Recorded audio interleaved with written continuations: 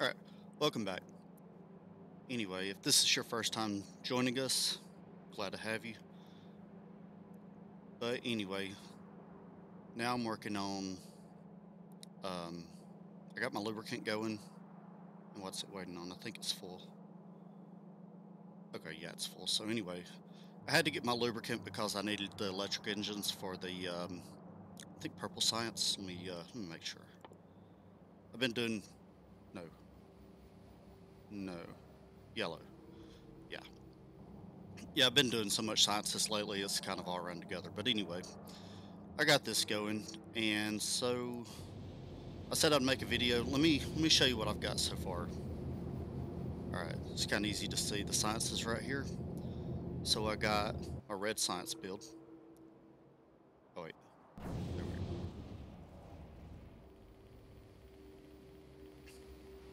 go. All right, so here goes my red science build, and with this, it's doing 50, 50 red science packs a second. So that's 3,000 a minute. And I've got, let's see, 20, 20 assemblers of gear wheels. And 200 assemblers for the science packs. So yeah, basically, the, uh, the iron goes in, makes gear wheels, and then it goes and mixes with two two uh, belts of co- copper. And then it goes up and I mean this is a simple build. It took a while to do just because I had like figure up you know how many I wanted per side and all that. So like how many sections I wanted to divide it in. So this is divided into two sections. So yeah that took a little while. And then now my green science and this one took a little while I knew I needed um, 240 240 assemblers of green science.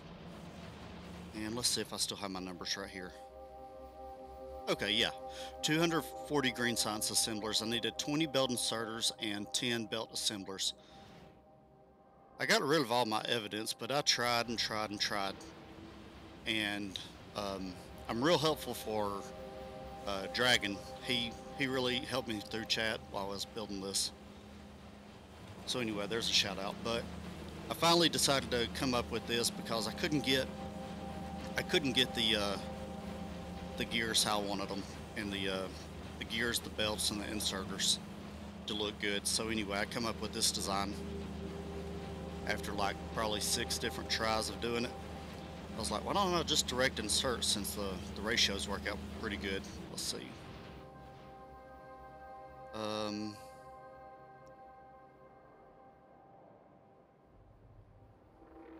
yeah, the ratios worked out pretty good. So anyway, this also is doing 50 per second.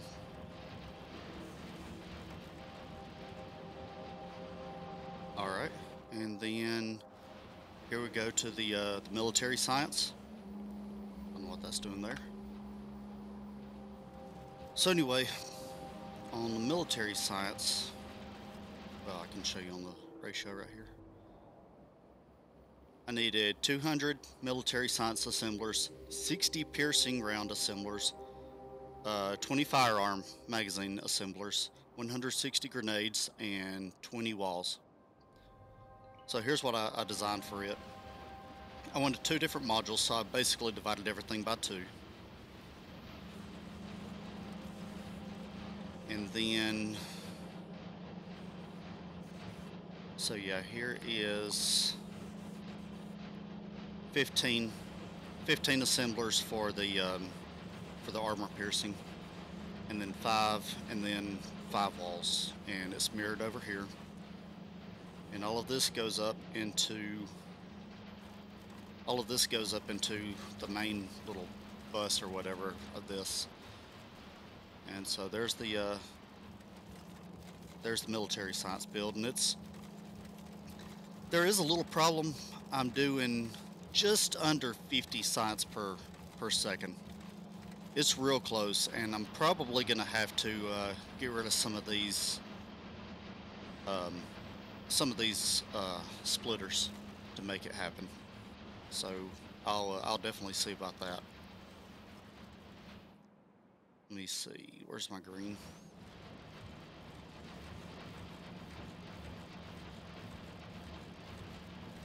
Yeah, I'm not sure. I might have to do a little playing around with that, but the design is right. The ratios are right. It's just, uh, you know, I'll have to uh, really look it over. But everything's running continuous. I don't see, I've watched it run for a little while. Well, what are you waiting on?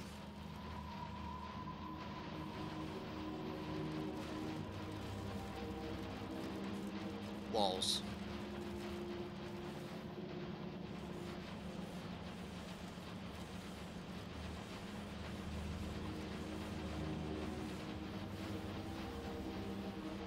Let me see something right quick. Um, this might help. Oh wait. Let me do the whole thing. Alright, so I'm putting out 25 walls a second. And I need 25. Okay, so yeah, everything should be good as far as the walls go. I need 12.5, I got 12.5. I need 12.5 grenades, I got 12.5, and I need 12.5 um, firearm magazines, and I got 12.5 there. So, like I said, the ratios are right. Um, I'm not exactly sure.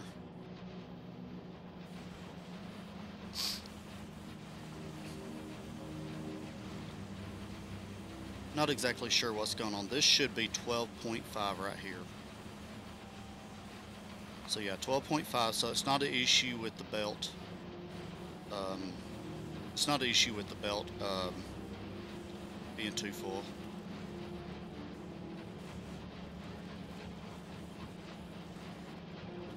Huh.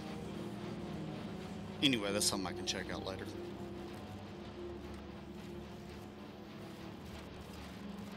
Well, we're, we're full here.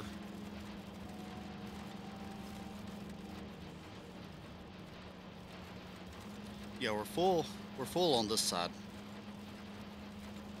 It might need, and we're full up here. So I'm not sure. It might need to just. Might need to just run, run for a little while.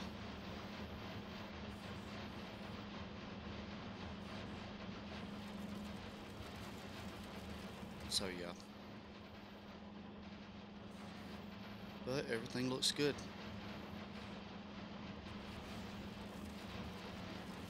Okay. So yeah, like I said, we're we're just under 50, 50 a second. All right, and then I came to a crossroads when it came to blue science. Because I tried and tried and tried to get the engine units. I needed 400 for the chemical science, and then I needed 133.4 for the uh, utility. And so I decided to go ahead and do the uh, the engine units by themselves. So let's see, where's the engine unit build? It is right, right here.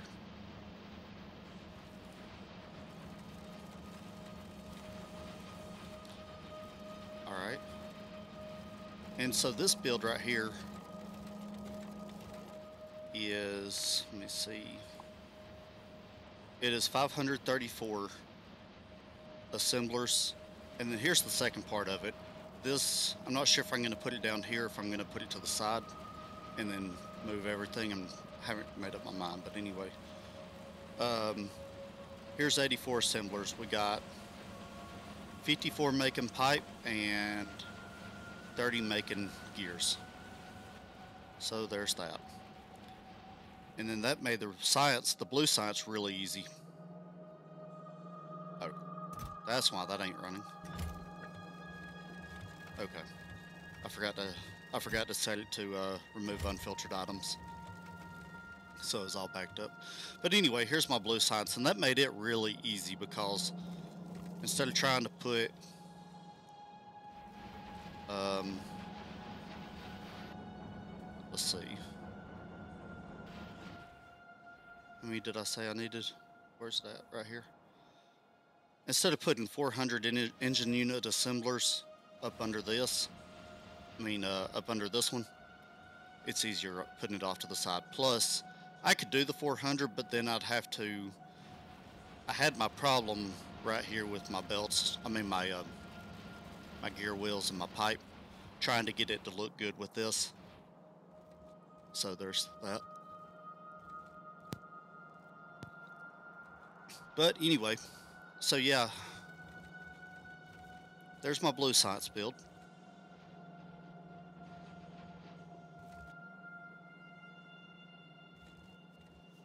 And yeah, I like I kind of like it with it, with it all full like that, with all the blue and red and yellow and browns. I know, looks good. So then my next part I was working on was um, purple science. And I can't think of what the name of it is right now. I think it's production. Let me uh let me wait for this auto save and we'll see.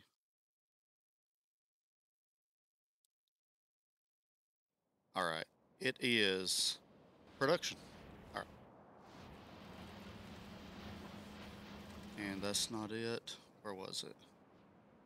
Okay. Yeah, here's where I got so far on it. And I really don't like the design I have. Um, so, so far the design is 200, 200 assemblers making production modules. And then I have 70, so 140, 140 um, assemblers making purple science and 50 making rails. And then I got this mess down here and while it's all right, it's going to take a lot of belts. So this is going to have to move down. I'm going to have to run a ton of belts through here. So I'm not sure. And this is only half, by the way. I'm going to have to uh, basically do something like that also. So yeah, so this is one design. And like I said, I don't really like this at the bottom. Uh, it's going to have so many, so many belts. I'm not sure if I'm going to do some of this stuff off to the side or not. I might. I haven't really made up my mind. But anyway, and so I tried just to kind of isolate the uh, the purple science on the rails. I did something like this, and I was I thought I had it until I realized that I need.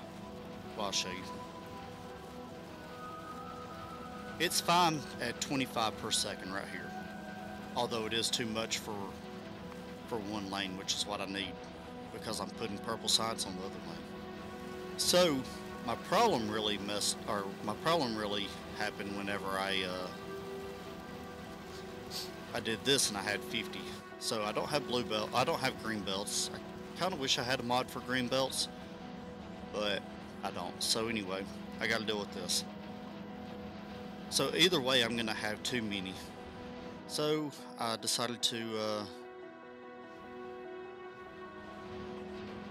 Oh yeah. So one of my options was to do something along the lines of just taking this row and then, you know, like I have right here. I don't know what that's there for. Basically,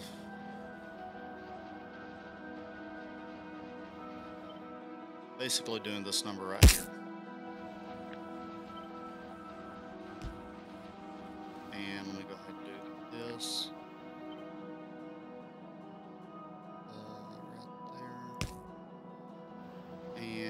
Yeah, basically doing something like this.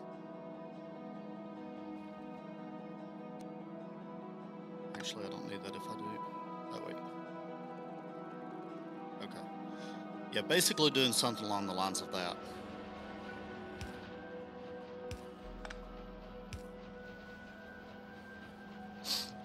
So, and then doing that however many times I need. And that'll work.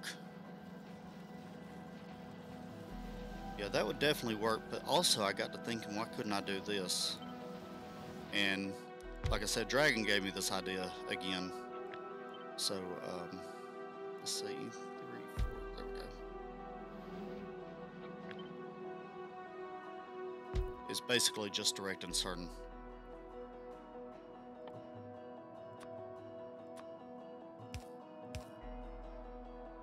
And that's probably going to be the option I go with. basically, I'm going to take this design right here, put it up, and see how I like it. And if I don't like it, that's fine. If I do like it, that's fine too.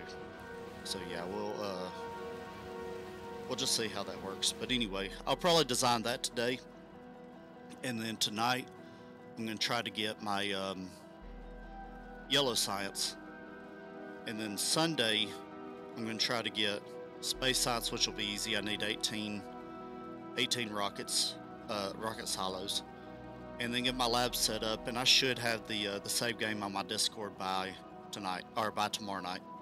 So yeah, we'll see. Um, or it'll actually be Monday morning, but uh, I got to up real late anyway. So uh, tomorrow night. So yeah, that's uh, that's my few options I have. I can't go with this design where I was gonna, you know, move everything up a row and all that. So anyway, like I said, I'll prob I might just I might do this. I just kind of want to see how it looks before I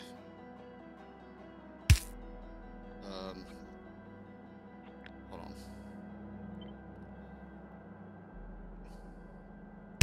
Yeah. So I might do that. I'm not sure.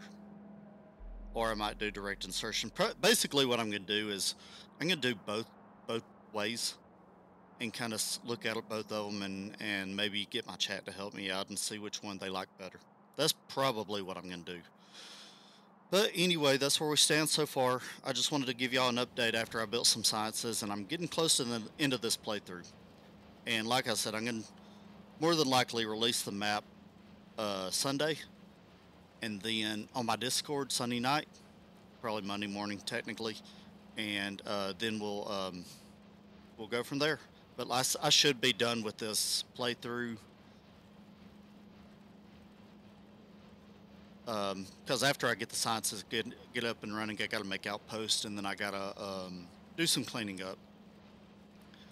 And then after I do the cleaning up, I'll um, I'll be done, and then I'll probably go ahead and start the server up, and uh, just start something on there. So if you have any ideas of like if you want to join the server, um, I'm gonna open it up to when I get 500 subs, just members, I'll probably charge like a dollar a month, but that'll that'll just help offset the cost of the server I'm gonna rent. So I mean that's you know that's all. But open it up to YouTube members and Twitch subs whenever I get them. So yeah, um, and like I said, that that's just gonna help offset the cost of the uh, the uh, server that I'm gonna rent. But anyway, yeah, I'll go ahead and start that server up probably, and um, let me know if you if you want any mods, if you want to do space exploration or Krastorio, or if you just want to keep it vanilla.